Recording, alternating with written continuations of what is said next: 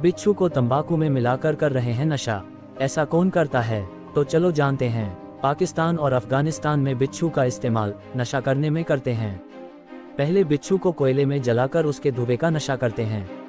और दूसरा बिच्छू को धूप में सुखाकर उसे तंबाकू में मिलाकर नशा किया जाता है।